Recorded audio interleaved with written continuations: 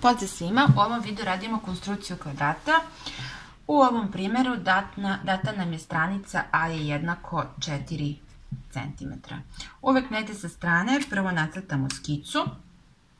Dakle, kvadrat, znamo da ima sve četiri jednake stranice, obeležit ćemo ga sa A, B, C, D.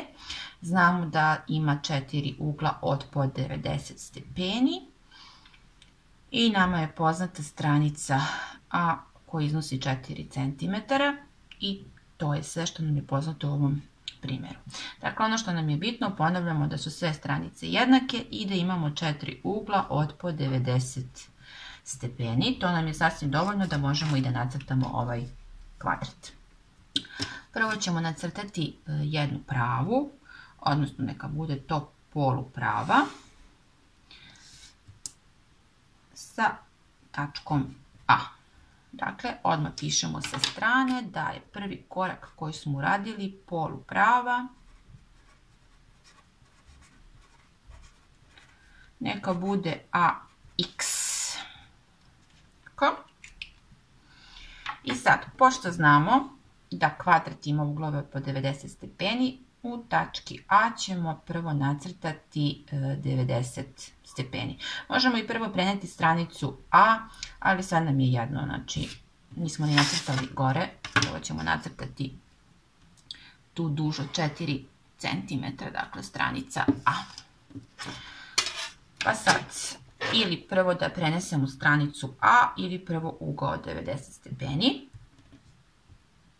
sve jedno, ajmo prvo ugao 90 stepeni, dakle ovdje imamo 60, još 60, dakle ovo je standardna konstrukcija i sad 60 treba nam polovina od 60 treba nam još 30, dakle delimo, odnosno tražimo simetralu ugla od 60 i dobili smo 90 stepeni.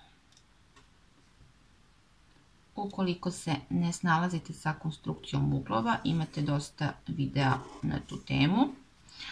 Dakle, dobili smo neku polu pravu, neka bude A, Y. Dakle, druga tačka.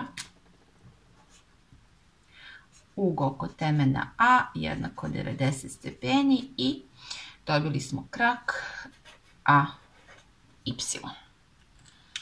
Sad uzimamo šestar, merimo 4 cm.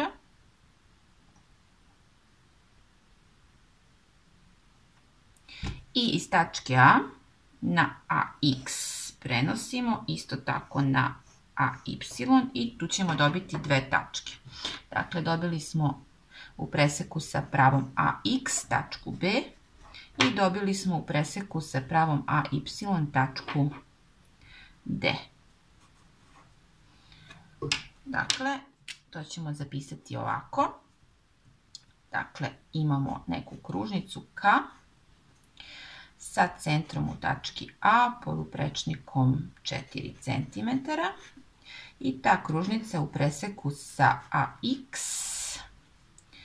daje tačku B kao četvrtu tačku, dakle imamo kružnicu, centar u tački A, poluprečnika 4 cm u preseku sa polupravom AY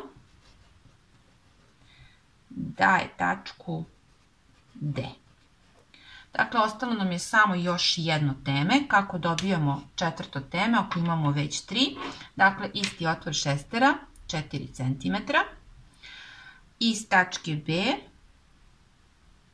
crtamo ovako jedan luk. I iz tačke D i tamo gdje dobijamo presek je teme C. Dakle, teme C. Spojit ćemo sada sva temena.